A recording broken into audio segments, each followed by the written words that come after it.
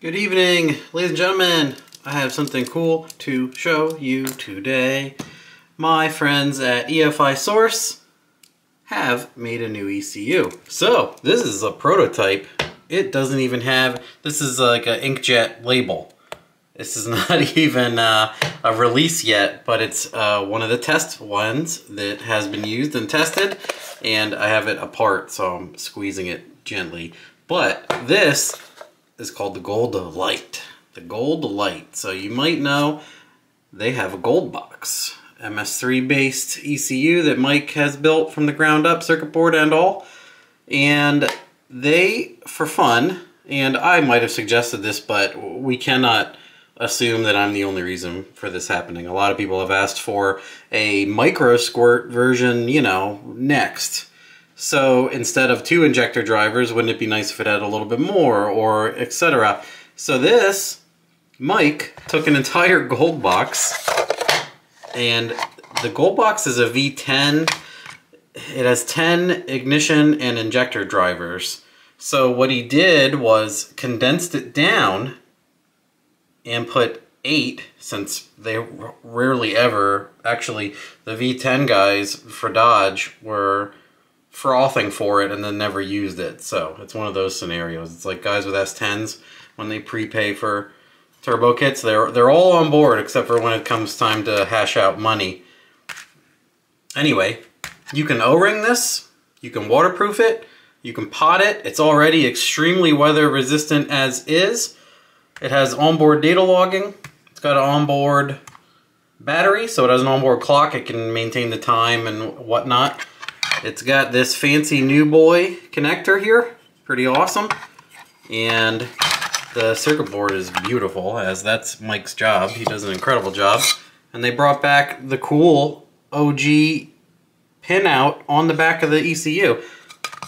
And this is the fancy new connector. So they are waiting for a lot of things to make it official, but it's kind of official now, being as that I told you about it.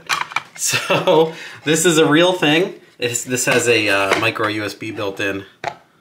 So pretty nice. Pretty cool little box. I'm not sure exactly what we're going to put this on. I thought about putting it on the turbo truck, but we might put it on a friend of mine named Corey Edelman that does transmission stuff and roundy round circle track stuff. Has a very, uh, how do we want to say? He's lots of money into a Dodge Neon. Let's say it that way, as anybody does with this hobby. It would be cool to put this on. It has a stock ECU and it has an MS2 plug and play that's all batched out and some other things. It would be cool to wire this in. For right now, this is just the 8-foot flying lead that's labeled and ready to rock.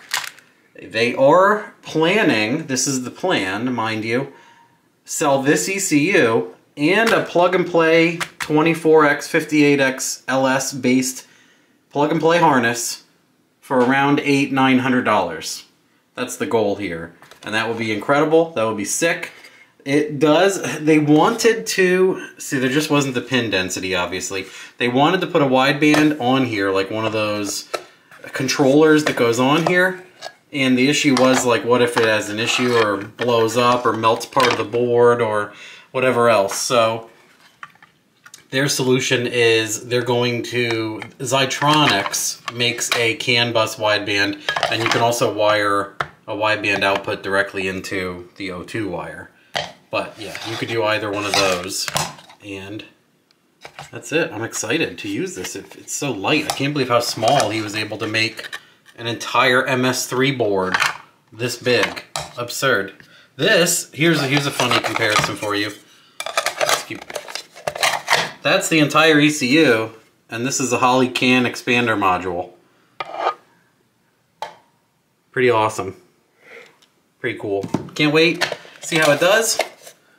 Love my guys over at EFI Source. If you have anything you can think of that you would like to put a budget MS3 based ECU on that's also waterproofed, but you can take it apart and uh, you can do cool guy stuff with. I am not solid on pricing with like flying lead and everything else but that's the goal is the eight to nine hundred dollar range with a plug and play LS terminated harness, not flying lead. Pretty cool.